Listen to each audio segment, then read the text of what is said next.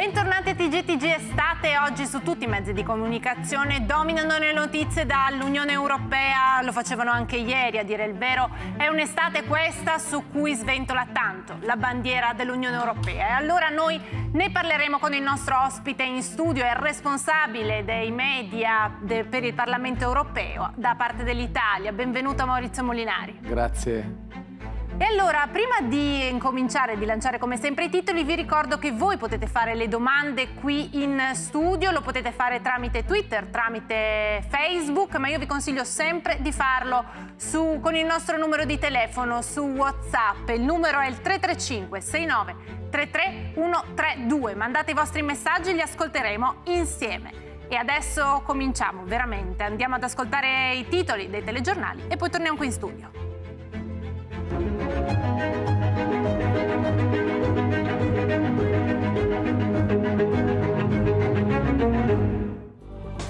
Mattarella incontra i giornalisti per superare le tensioni serve un clima di collaborazione. Il Quirinale è arbitro, non compie scelte politiche. Fuori dall'Europa non c'è futuro. Ancora una strage nel Mediterraneo, due barconi con 300 migranti partiti da Homs a circa 100 km da Tripoli si sono capovolti davanti alle coste della Libia. Lo riferisce un portavoce dell'agenzia ONU per i rifugiati. I morti sarebbero oltre 150, oltre 100 tratti in salvo. Nuova tragedia sulle rotte della Speranza. Due barconi di migranti affondano al largo delle coste libiche. Circa 150 persone salvate, ma almeno altrettante sarebbero morte. È l'ennesimo naufragio al largo della Libia e chiaramente è nei primi titoli dei telegiornali, ma anche su quelli online ve li faccio vedere, sono qui gli aggiornamenti, qui siamo su Repubblica, l'allarme dell'UNHCR, naufragio al largo della Libia, oltre 100 persone disperse. Ecco, quello della migrazione, Maurizio Molinari, è un tema veramente centrale, forse oggi più che mai, lo è anche all'interno della nuova composizione dei palazzi dell'Unione Europea. Ma sì, è uno dei primi temi che è stato citato, forse il primo, il più importante, che è stato citato sia dal neoeletto Presidente del Parlamento Europeo, David Sassoli, sia dalla, mm, presidente, la futura Presidente della Commissione Europea, Ursula von der Leyen. Quindi è un tema assolutamente importante per l'Europa, per le istituzioni europee. Eh, Parlamento e Commissione anche nella scorsa legislatura hanno agito, hanno fatto delle proposte.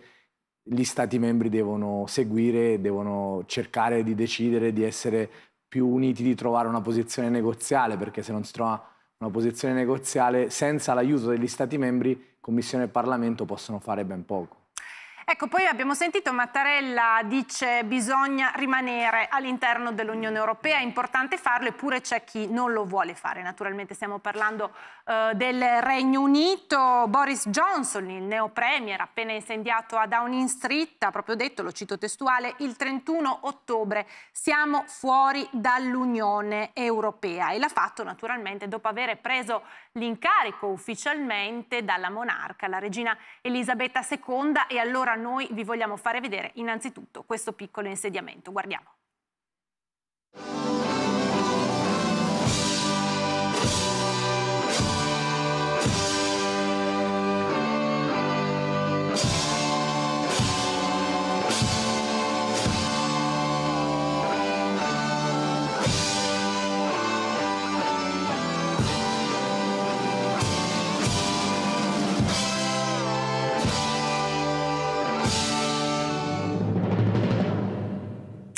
Insediamento a Downing Street, Maurizio, vuol dire anche presentazione della nuova squadra di governo, naturalmente, quindi è stata presentata la nuova squadra di governo che lavorerà insieme a Boris Johnson, è molto larga dal punto di vista eh, etnico, Maurizio, un po' stretta da quello ideologico, eccoli qui, li vediamo insieme quelli principali eh, naturalmente abbiamo Priti eh, Patel, poi la pronuncia Maurizio mi aiuterai tu, eventualmente degli affari eh, interni, invece c'è eh, Said de, um, Yavid al Ministero dell'Economia e Dominique Raab agli affari, agli affari esteri. Sono tutti eh, diciamo, esponenti di, estremamente conservatori dell'estrema destra e la cosa che sicuramente hanno in comune è di essere profondamente euroscettici. Eh, Maurizio Molinari, cosa cambierà in Europa con questa guida al Regno Unito?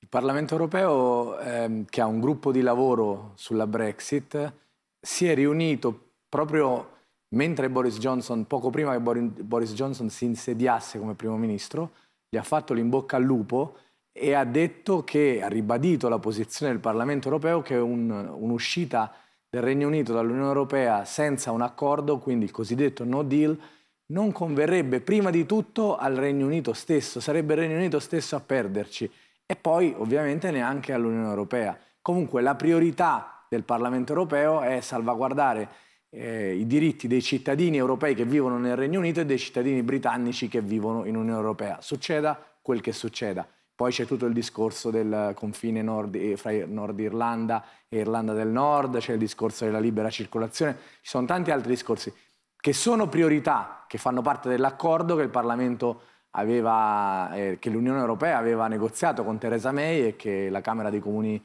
britannica non ha votato. Queste sono le priorità per il Parlamento europeo, per le istituzioni europee. Gli inglesi, i britannici devono dire cosa vogliono fare.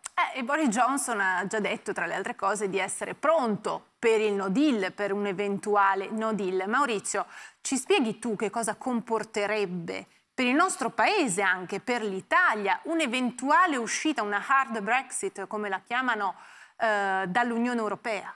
Allora, detto che le istituzioni europee hanno posto in essere tutta una serie di misure eh, che eh, dovrebbero cercare di limitare i possibili danni eh, causati da un'uscita senza accordo del Regno Unito, quindi per esempio hanno posto in essere delle misure che permetteranno ai voli di continuare a volare, perché c'era anche quel problema lì, cioè se un certo. paese esce dall'Unione Europea a un certo punto, da un, dal, dalla notte al giorno, cioè non, non, possono più volare gli aerei fra quel, fra quel paese e l'Unione Europea. Quindi eh, problemi di pesca, per esempio, vari, varie misure, le istituzioni europee hanno preso varie misure per limitare l'impatto di un possibile no deal.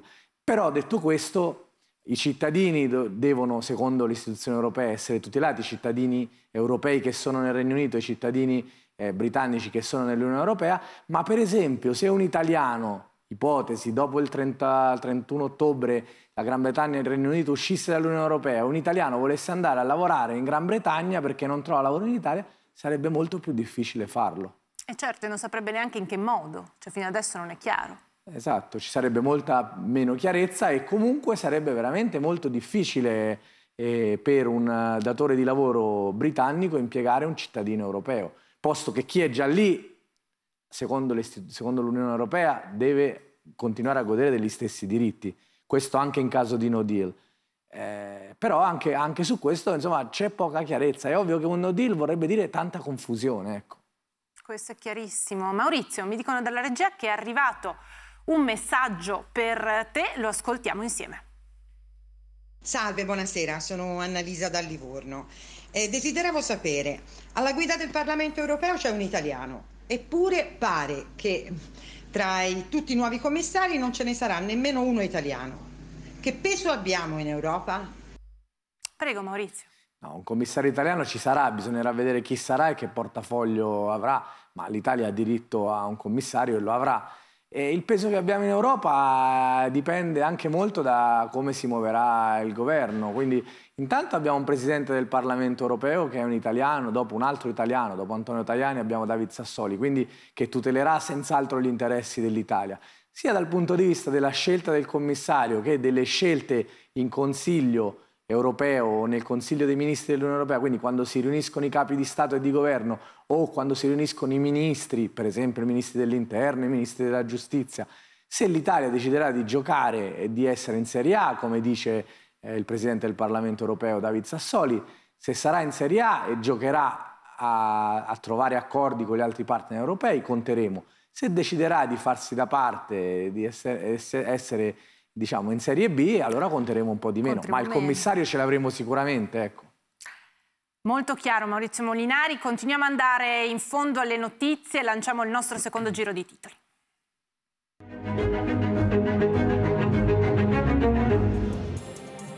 Quando si dice temperature record in genere lo si fa con i classici titoli del solleone, ma oggi è il giorno più caldo della storia d'Europa. A Parigi 42,2, il, più, il livello più alto dal 1873 ma record assoluti di sempre in Belgio, in Olanda, in Germania, picchi anche in Gran Bretagna.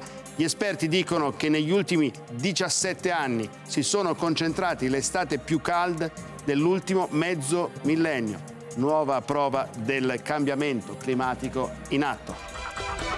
Noi non lo possiamo gestire, la drammatica richiesta di aiuto di una coppia di genitori ai servizi sociali hanno un figlio autistico di 11 anni e dicono da soli non ce la facciamo più. Maurizio, tu oltre a ricoprire un ruolo importante all'interno del Parlamento europeo sei anche non vedente. Ecco, in Unione Europea a che punto siamo con la disabilità? L'Unione Europea è all'avanguardia per quanto riguarda gli standard di accesso a beni e servizi per le persone con disabilità.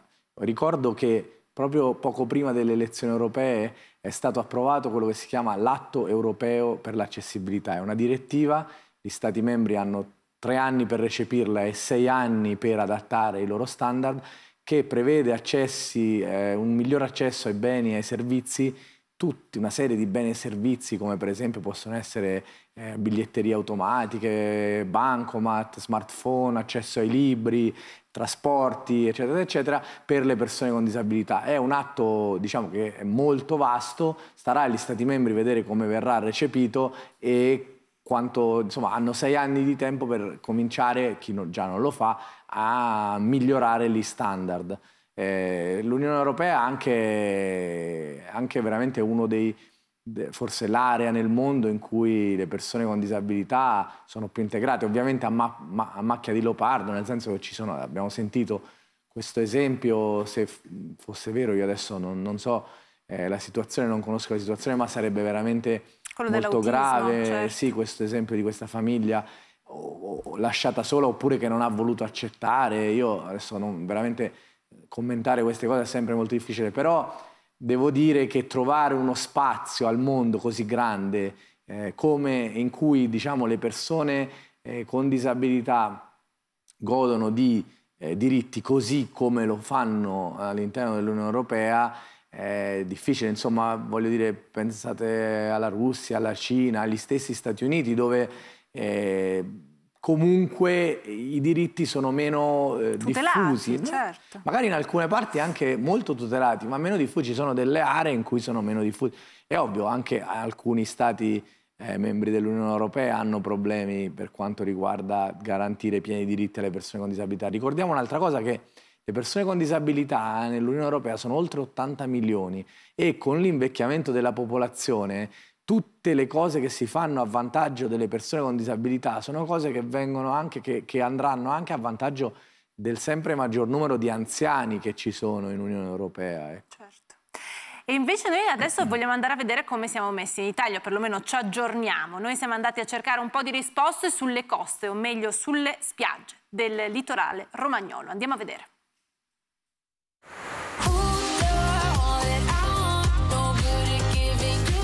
Da sempre la spiaggia di Rimini ha scelto di abbattere tutte le barriere architettoniche per poter accogliere tutte le persone, anche con disabilità, che vengono in vacanza a Rimini. Da noi l'inclusione è sempre stata una delle parole preferite. Il disabile può arrivare dalla strada fino a 10 metri dal mare con una pedana, con la carrozzella, è una cosa bellissima. Abbiamo poi delle sedie attrezzate per andare in mare o eh, camminare sulla battigia. Abbiamo anche eh, lettini rialzati per favorire il passaggio dalla sedia al, al, lettino stesso. Insomma cerchiamo di favorire al 100% la spiaggia proprio accessibile. Tutti gli stabilimenti di Rimini sono autismo friendly proprio per dare la possibilità alle famiglie che hanno bambini autistici di godersi la loro vacanza. Abbiamo delle tabelle braille dove gli ipovedenti possono utilizzare i servizi che ci sono all'interno de dello stabilimento balneare. Qui al Bagno 27 abbiamo deciso di favorire l'inclusione lavorativa di ragazzi con eh, specialità varie, ragazzi speciali in tutti i sensi. Buongiorno Giorgio. Ciao, buongiorno a te. Per me è molto bello perché appena arrivo mi accolgono come un babbo, come uno di loro.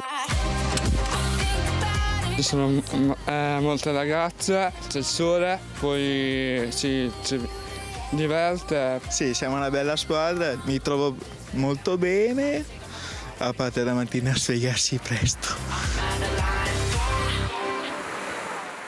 Maurizio Molinari, esattamente quello che un po' accennavi tu, ma io adesso ti porto a osservare insieme ai nostri telespettatori la foto del giorno, io te la descrivo Maurizio perché passiamo a un altro argomento che è quello del caldo torrido, torridissimo, che sta coinvolgendo non solo l'Italia del tutto anomalo, ma anche i paesi dell'Unione Europea, perché la Francia del Nord, la Germania del Nord, l'Inghilterra del Nord hanno delle temperature assurde e quella che abbiamo scelto è proprio in Inghilterra, è, una, è scattata proprio nella campagna inglese con la tipica basilica eh, romanica alle spalle e diverse persone si sono buttate direttamente nel fiume, cosa che assolutamente non si dovrebbe fare e mm, assolutamente proibito dalle autorità britanniche, però disperate, troppo caldo e quindi non hanno avuto scelta. Le politiche ambientali, Maurizio, sono al centro, insomma l'abbiamo visto anche alle ultime elezioni, insomma il, i Verdi hanno avuto voti molto alti anche perché le politiche ambientali sono molto urgenti. Sì, e sia il Parlamento che la Commissione si sono impegnati a ridurre le emissioni del 50% entro il 2050. Insomma, per chi ancora dubita degli effetti del cambiamento climatico, questi giorni sono forse qualcosa, una lezione da imparare. Ricordo che comunque oggi la Commissione europea ha annunciato lo stanziamento di aiuti proprio per i paesi colpiti dalla siccità. E poi ti voglio portare anche a commentare la buona notizia, perché quella di oggi è proprio una buona notizia e ci fa andare sempre, ci fa rimanere a Bruxelles. L'Europa allunga a dieci giorni il congedo di eh, paternità. La notizia arriva da avvenire, tre anni agli Stati membri per recepirlo, anche questa è una buona notizia. Sì, è una norma che è stata approvata ad aprile, prima delle elezioni, e penso sia una buona notizia, responsabilizza i padri eh, dà la possibilità ai padri di, avere, di, spendere più tempo con i loro figli. Se la madre vuole prendere tutta la maternità, due mesi sono non trasferibili, quindi li deve prendere l'altro genitore, quindi anche insomma, eh, va incontro alle famiglie moderne, direi, insomma, dove anche il padre eh, prende l'impegno di crescere i propri figli. Insomma. In passo diciamo nella direzione giusta, ecco, mettiamolo sì. così. Grazie davvero a Maurizio Molinari del Parlamento Europeo per essere stato con noi, grazie, grazie davvero, grazie davvero. E se noi tornassimo al futuro, e lo vogliamo proprio fare questa sera perché ci ha provato Frankie Zapata con la sua flyboard ha tentato di traversare la manica ma non ce l'ha fatta, si è fatto un tuffo nell'acqua, ma pensate ci riuscivano invece all'inizio del secolo scorso, nei primi del 1900 era Louis Berriot, un pioniere dell'aviazione francese, il primo uomo con il suo mezzo ad essere riuscito ad attraversare la manica. E noi allora a queste persone dedichiamo il nostro Dulcis in Fundo, grazie davvero per averci scelto, ci vediamo domani.